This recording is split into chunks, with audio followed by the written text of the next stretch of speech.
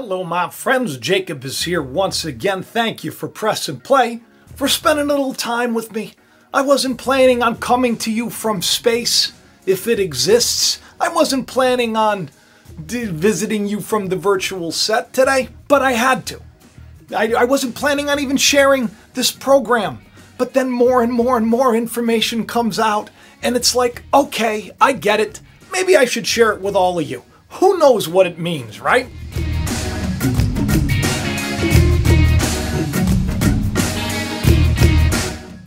The uh, the the mainstream media. oh, good grief! Think about that for a second. A stream is where everybody gets their life force, right? Water. The main one. So the the uh, the uh, the the spirit source, if you will, truth, lies, whatever's being sent out into the world, that's the mainstream. So from the mainstream, you know, people are very confused and they're very, uh, they're very, they put their trust in all that stuff. And now they're being exposed to be very, very unreliable. Well, we already knew this, right? But now it's like, even they're saying that they're unreliable.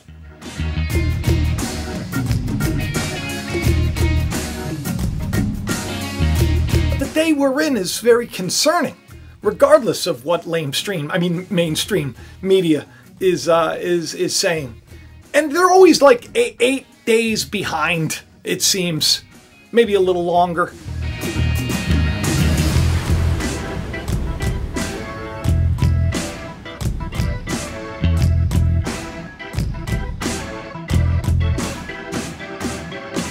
they're just starting to talk about these pyramid craft that Jeremy Corbell and Knapp and you know that they released. And I did a video. This was my last video. If you haven't seen it, it'll come at the end of the uh, at the end of the show. Click on it or or just click here, this link.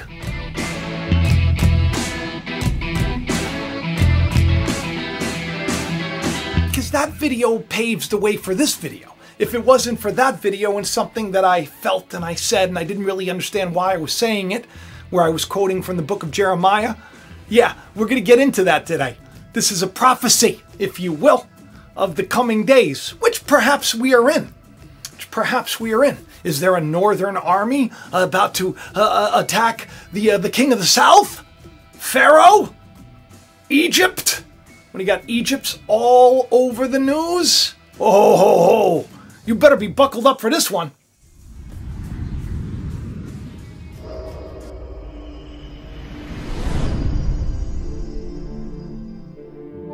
Welcome back to the show. Of course, well, mainstream media has caught up and they're reporting about these pyramid shaped UFOs, these crafts, right? Which, as I said before, I talked about.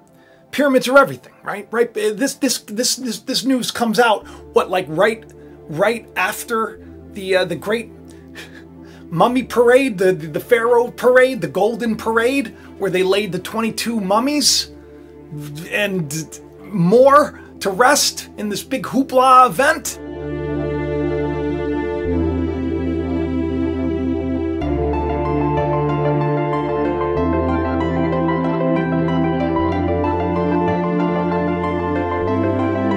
Before that, you had the Pope having an interfaith type of a service at the uh, the ancient Anunnaki temple, the ziggurat.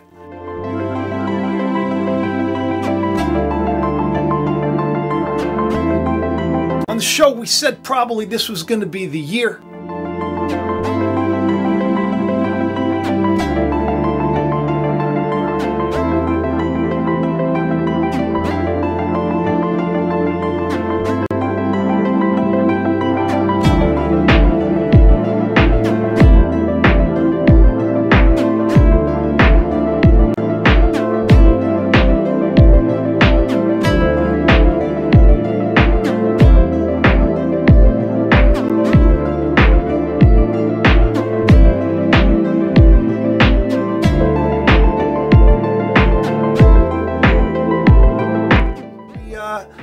About these pyramids. There's something about Egypt. Right on the channel. Haven't we been talking about the plagues of Egypt? Well, you know what happens at the end? Because we've been kind of leading up to it. Israel's sent into the wilderness, right? Pharaoh drives them out, then gets, you know, ends up drowning in the uh, the sea. But we're not going to get into that today. It is ironic that they are they're, they're talking about that Pharaoh like right now. Scriptures say there's nothing new under the sun. Perhaps everything that is now has already been, right? And will always be. Who knows? We're part of a story that's already written. That's the best part. That's why I call it the big summer blockbuster. That's why we should rejoice.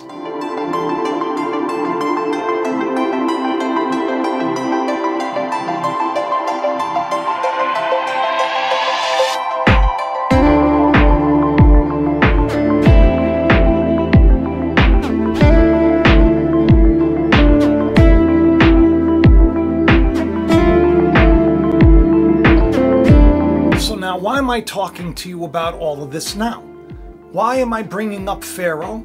And why am I bringing up Egypt? And why have we been discussing this uh, like nonstop for a couple of years now? Well, the reason is that when Israel is driven out, they're driven out to go to the promised land. Okay? You, you think the system hasn't brought a lot of people joy, so it needs to change, and God's changing it. And change sometimes is hard and a little scary. That's why we're supposed to put our, our faith in the Lord, because He's going to lead us out. Cloud by day, right? The witness of God by day, when you understand, and then fire by night. When you're being a meathead and you don't know any better, things are going to be hard until you wake up and get back on the bus.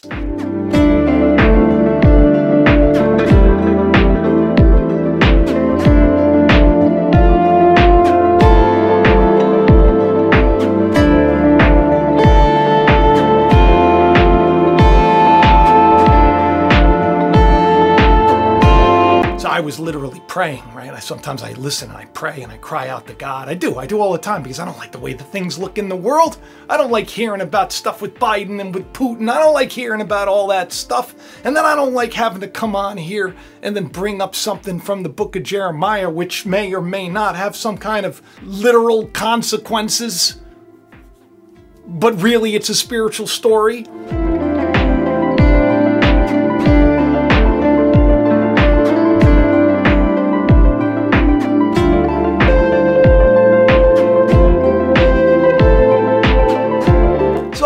Out to God. I'm like, oh Lord, help.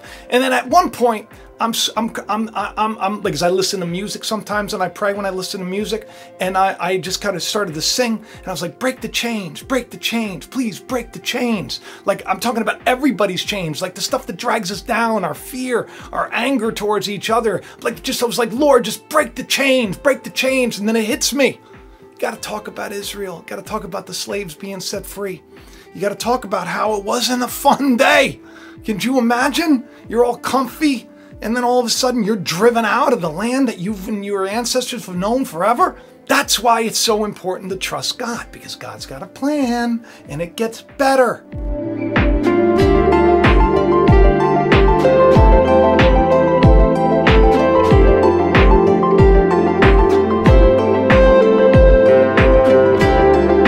Jeremiah talks about uh, the, the, God's vengeance on his foes. But really, the foes of God are, are inside of us already. It's all the stuff that's not true because God is right, His truth and love and joy and power and peace, right, and judgment and uh, lies. Not so much God. God doesn't give us the spirit of fear, and there's torment and fear. So all these things that are the the enemy of God and God, who is love. So the enemy of love love's going to take vengeance on. How's that going to happen? By using each other against each other. So the bad do the bad things and they end up, there's a judgment for it. It's like it's like it's a reaping and sowing. What you do to one, you got to get back. You got to pay the price. You got to pay the piper. You just don't pay more because, you know, the price has already been paid. That's the good news. And I do feel like it's it's going to be okay. Even though it may not seem okay. Can't stress that enough. Buckle up, right? That's the shirt.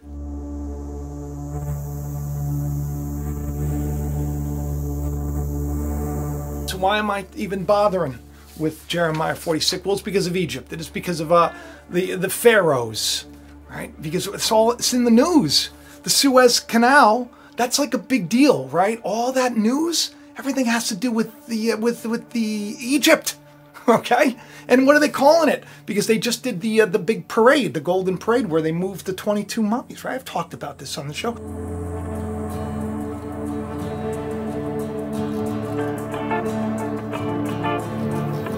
So they're saying, oh, all the troubles, it's the Pharaoh's curse. They had a major rail, people died, it was a terrible tragedy, the Suez Canal.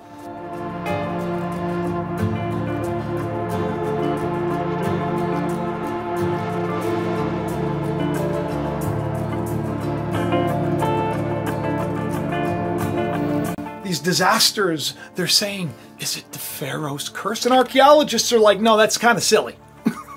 that's kind of silly. It's just strange, right? The timing of it. Bad things are happening to Egypt. Get it? Plagues of Egypt, right? Gets in the last one. It's the death of the firstborn of everything in that place. Every lie that you've believed, every imagination, every hardship gone away so you could be set free. And ironically, because we're talking about Moses, right? Well, Moses was a type of Messiah, and everybody's waiting for the Messiah to come. That word come erchomai means to be manifested, to be revealed. God, Christ, has never left you nor forsaken you. So find out what the hope of glory is. Christ in you. A star will come out of Jacob. That's that's in uh, book of Numbers. When you start to understand that a lot of the stuff that happens in the literal is an expression of what happens in the spiritual, it's easier to understand scriptures like in the end days a man's enemy will be in his own house, and really the, the, house of the Lord is you. So the only enemy there really is is in your head messing with you, getting you to be scared, getting you to worry about this or that, and not just trust in the Lord. Not to mention that we, we were talking about that 3,000 year old city.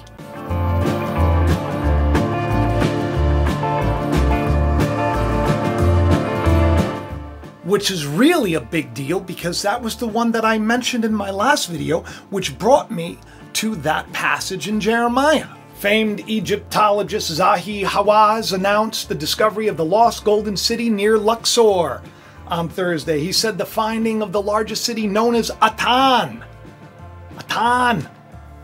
Ever uncovered. It was like the golden one. It was like the, uh, the pride of Thebes. Ironic because Thebes is mentioned in scripture which is the point that I made about how God was going to bring vengeance on Thebes, the god of Thebes, the system, and Pharaoh in Egypt, this system. Guess what it was unearthed? 2020, right around that perfect time. It's interesting. This is supposedly one the second biggest discovery that's ever been made. Second biggest, like right up there with Tutankhamun.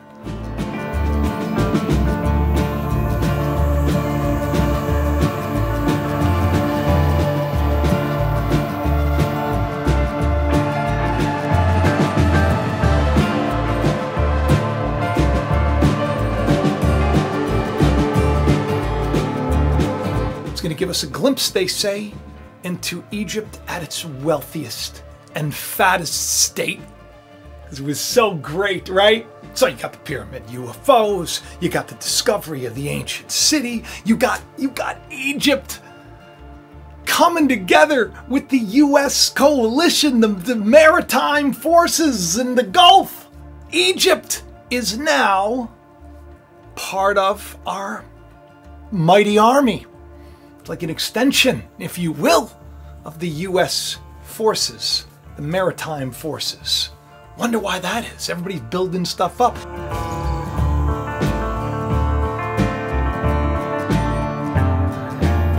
So as all this stuff is happening, right, Egypt's becoming this big powerhouse. Uh, Turkey hails a new era with Egypt after a long time. They've come to terms they put their past behind them, Turkey and Egypt. This is a big day. Egypt's celebrating something. Hmm? Wonder if it's the uh, the return.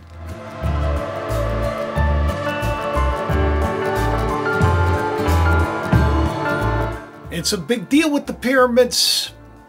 As I'm researching all this stuff, right, with the Egypt and the Pharaoh and all of this stuff, which, by the way, like the U.S. Chamber of Commerce put something up like Pharaoh pyramids, and it was it was talking about four steps that Egypt and U.S. are going to work together.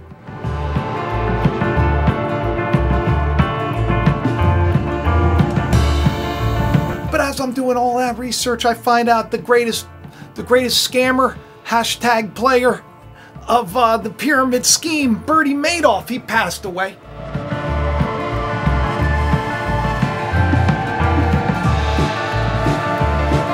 Anybody who plays the game of the pyramid is gonna go. I guess that's what I don't know. It's not good to take advantage of people, and not to mention the in New York the the uh, the Pyramid Club. It's like a very famous club that I never knew about because I wasn't into the music scene back in the day. But Red Hot Chili Peppers played there first, Nirvana played there first. The Pyramid Club was like a very interesting place from what I saw. They closed.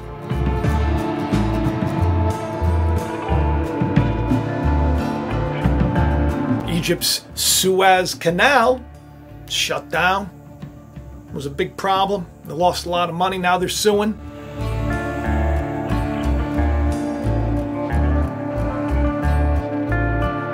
And people are asking, is it the curse of the pharaohs? Well, I'm asking, Lord, are you bringing the judgment? Is that what you're doing? Is that what you're doing? Yeah, you're bringing the judgment. It's been brought. It's been brought. So there's going to be a climactic ending to it. You know, when you turn away from the Lord, you turn away from love, you turn away from being good stewards of what you've been given, treating others the same way you want to be treated you think that you're gonna be going along life and it's gonna always be so good. Nah, bad guys, right? You're gonna you pay you're gonna pay the price. You think that you're so great. That's what the Lord says in the book of Jeremiah. You think you're so strong, Egypt and Pharaoh. You got all you got wealthy. You, he, he basically calls them like fattened calves. You've gotten so gluttonous and so nasty. You got a bunch of people that are supposed to protect you. You got a, your armed forces. Well, when the king of the north comes, Everybody's going to go bye bye. They're going to scatter. You're going to be scared and you're going to be left in ruin. I'm going to read this to you, okay? Because really, this has more to do with what's going on spiritually. But yeah, it's probably going to happen in the world soon.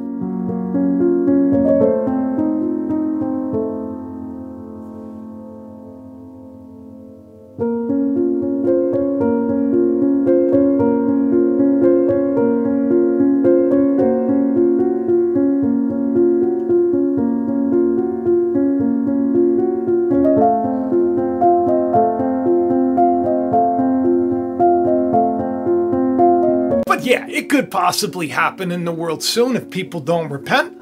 Remember, when people repent, God repents. It happens. It's like if you do, you, you learn your lesson, you, you see what's happening, you're like, hey, you know, maybe we should be better. Maybe we should love each other. Maybe we should be grateful for the gift that we've been given. This beautiful planet, this beautiful, our beautiful lives, our beautiful families. Maybe we should be better stewards. Stop blaming everybody and you know, using justification as to why you could hurt somebody. Maybe, maybe it's time to repent. Maybe if everybody came together and said, We're sorry, Lord, help us, Lord, lead us, Lord, and live for Christ, which is the power and wisdom of God, and God is love, the power and wisdom found in love, and more. Maybe then there wouldn't be a need for war. But if people don't repent, they don't change their ways, gotta learn the hard way, right? There's actually a passage in Scripture that says that if you come to Christ, you're going to be broken, right? And what's being broken? It's the uh, false idea of you. It's the one that's uh, scared all the time, in pain all the time, angry all the time, feels like a failure, filled with shame. That's the one that gets broken. It gets broken, right? The, the, the, the, the potter has power over the clay to shape it and reshape it as it sees fit. So you come to Christ, you can be broken. But if you don't, guess what? You can be smashed to bits. I don't want to be smashed to bits.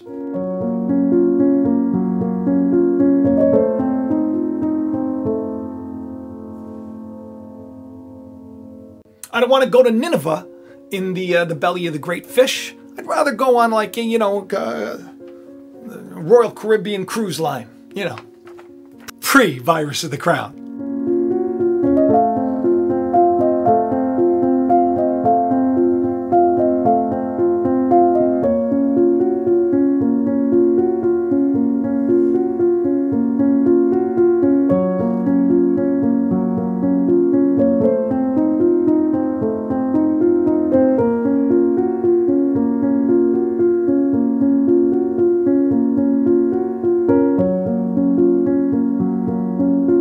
Shared in the video um, this passage right here.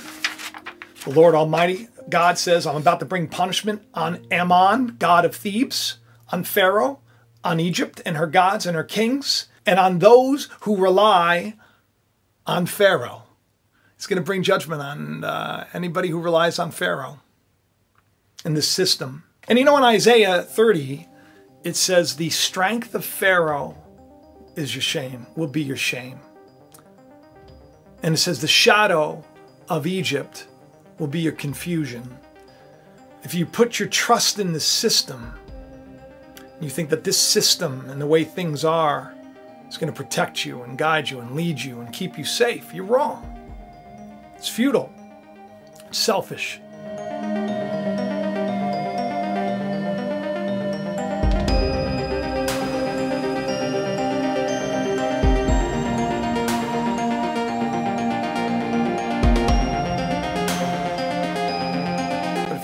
Trust in God, it's going to lead you beside still waters. Right? He's going to make a table uh, before you in the presence of your enemies. The Lord's rod and staff comfort me means I'm led one time and then I'm banged down the other. It's like, you're going the wrong way, Jacob. Get back in line. I like when bad times come because it gets me to question why am I going through them. And most of the time, I can uh, I can source it to myself. That's why God's going to bring judgment.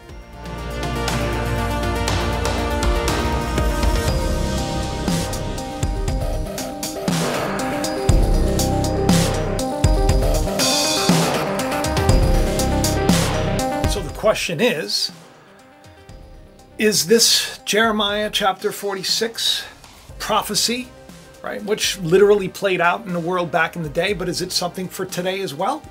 Or is this speaking of something within completely? Because I believe it could be both, but I'm hoping it's just within. So now, if you look at the world the way it is, you look at, say, like the United States of America and everything, you know, there's all the pyramids everywhere, right? It's on the dollar bill. So we, see, we know we're kind of like, we're Egypt right? So who would be the pharaoh?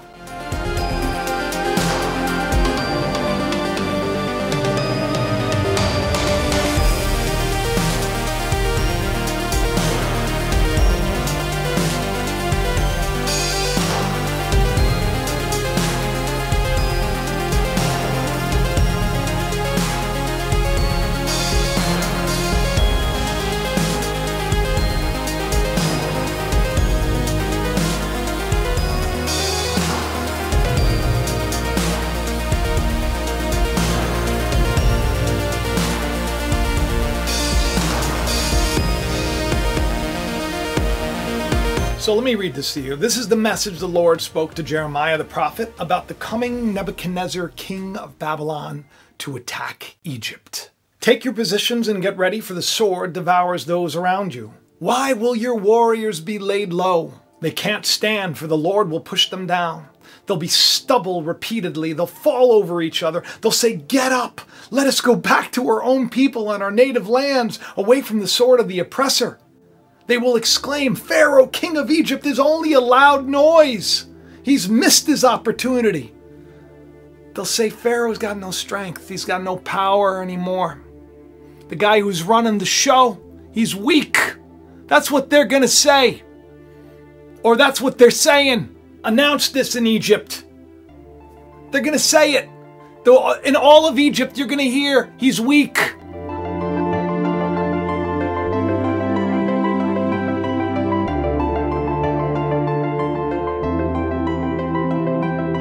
He's only all talk, he's a big noise. As surely as I live, declares the King, whose name is the Lord Almighty, one will come who is like Tabor among the mountains, like Carmel by the sea. Pack your belongings for exile, you who live in Egypt. Get ready, you're about to be driven out.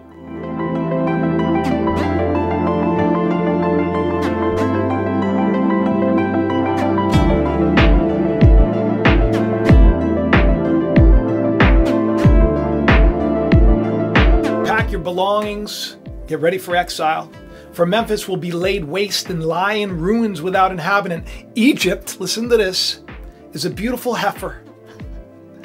But a gadfly is coming against her from the north. There's going to be a king, a northern army. is going to come. Northern army.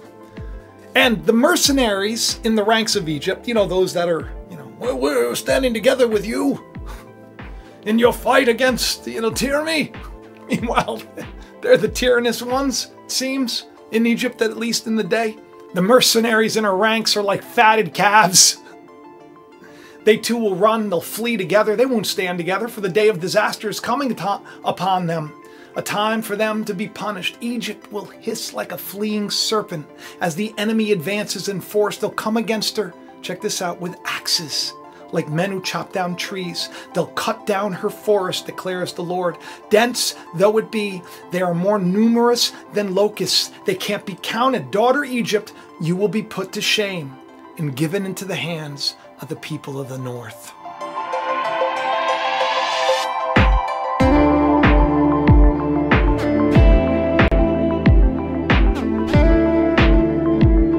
There's a major prophecy in uh, many of the old books, Daniel, where the uh, the statue, the dream, Nebuchadnezzar had this dream, and the last kingdom was was like a mixed kingdom, but it was uh, it broke apart pretty easily.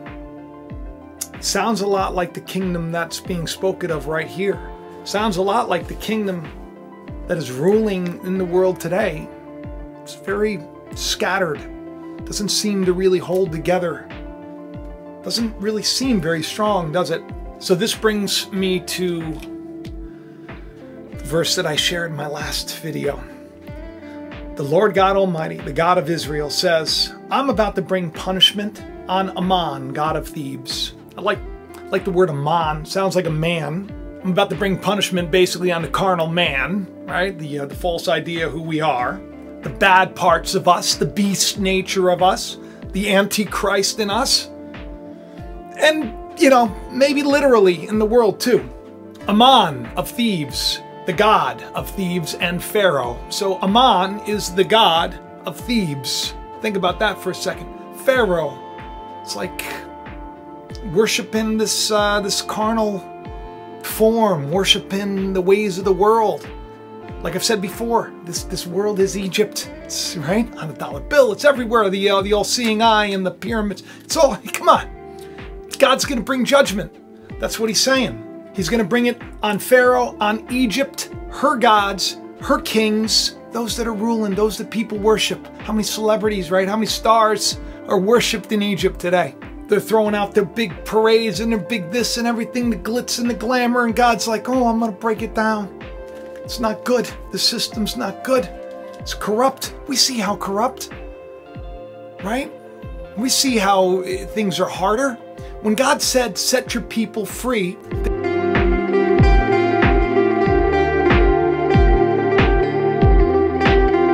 I did a video a year ago about this where, you know, God was saying, you know, the plagues come and uh, God's like, no, no you, you got to set the, the, people free. But what does Pharaoh do? He doesn't. He says, you know, make things harder for him. Right? Now you're going to shut down businesses. Now you got to do this. You got to do that. Make things harder for them, the slaves they're to get theirs. and bring punishment against all those who rely on this system too. You know, this world's not to save you. You It'll never bring you joy. Putting your faith here, becoming a celebrity, none of this stuff is going to work for you. You got to put your faith in the Lord. You got to put your faith in the only thing that matters, the, uh, the the creator of all, the source of all. It's foolish to think of yourself as separate. This is the good news though. But even though God says, look, I'm coming against the system, it's not the curse of the pharaohs, it's me, right? I, Egypt will be inhabited again. And then he goes on to, and this is what was ironic is when I was praying, I was thanking God and I was asking him to break the chains. This was like my notes. My notes were like right in front of me. And I looked down and I read this. Don't be afraid, Jacob, my servant. Don't be dismayed, Israel. That's all of you. Just so you know. That's all of you. I will surely save you out of a distant place, your descendants from the land of their exile. Jacob will again have peace and security, and no one will make him afraid. As I'm crying out, because I'm I get worried sometimes things to come, right? I'm not impervious of a little fear, because there's torment in it. And what do I do? I pray. I said, Show me, Lord, show me. And then boom, Don't be afraid, Jacob, my servant. For me, it was really cool because it's me, right? So, but but really, this is a message for all of you. It's for everybody. It's for all of Israel, which means God prevails. Just so you know, I will save you out of a distant place, your descendants from the land of their exile. Jacob will again have peace and security, and no one will make him afraid. Do not be afraid, Jacob, my servant, for I'm with you. Think about that for a second. Don't be afraid, for God is with you. God is with you. Though I completely destroy all the nations among which I scatter you, even though I'm going to bring everything to ruin around you, I'm with you. this should give you a little bit of peace in the midst of the storm. I also will not completely destroy you. I will discipline you, but only in due measure. I will not let you go entirely unpunished. So you're going to pay for the things you do wrong, but don't worry. I'm with you. The system is coming to an end, people. So look, I don't know, you know, if there's going to be some invasion from the north. I don't know if all the nations would be, you know, if we're going to have, I don't know. I don't know. That's not why I'm saying it. But I do know that God is with us. I do know that God is going to deliver us. I do know that God is in the process of setting us free and that we should have no fear because God is with us. So, leave this show with some, you know, with some hope. And don't forget to tell your friends to, to, come by and check out the channel. Share the links around, by the way, and leaving the comments. Thank you, by the way. A lot of new people for the first time ever commented, and I was so happy to see it. And I, I like didn't respond like that. I responded like this. but I'm I'm happy that you do because you know not only is it cool because I get to meet you and you get to meet me a little bit, but it's it's helpful because it then recommends YouTube to recommend this to more people that people are interested in this that there's a message here that matters and that maybe more people should listen to it so that they don't go about their lives thinking it's a dog eat dog world, but they understand that the Lord is going to set everybody free, wipe every tear from our eye, regardless of how smashed everything looks. I love each and every one of you. Please do subscribe, share, tell your friends, and have the best day ever. Talk to you soon. Bye bye. Thanks for watching Jacob Israel. Please hit that like button leave a comment, subscribe, and share this channel around. If these shows have helped you, help Jacob to reach more any way you can, and have the best day ever. Click it.